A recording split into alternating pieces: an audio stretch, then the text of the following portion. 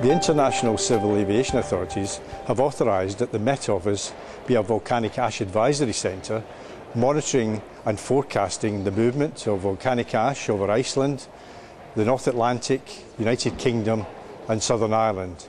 It's worth stressing that the Met Office provides forecasts to the standards and tolerances set by the regulators. Now we can adapt our model to different tolerances as long as that meets safe standards by our regulators.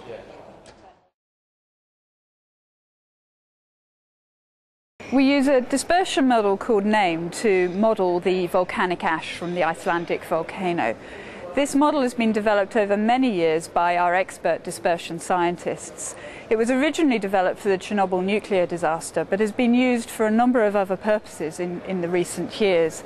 And we have tested it against other models and against observations.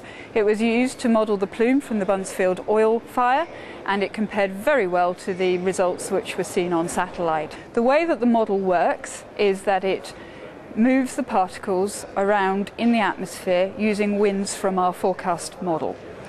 The mo particles are also moved by small uh, turbulence effects in the atmosphere, causing them to spread out.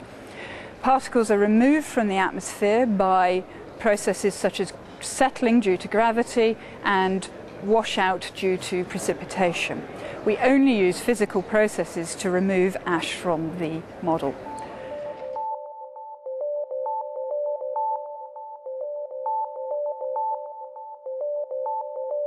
you